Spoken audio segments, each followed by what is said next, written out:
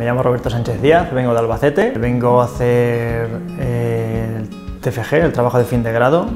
por una beca que me ha concedido la Universidad de Isabel I. En la investigación que estamos realizando serán mediciones antropométricas en deportistas y se utilizan para calcular estimadores indirectos, como por ejemplo puede ser la masa grasa, masa muscular y masa ósea, o la propia forma corporal.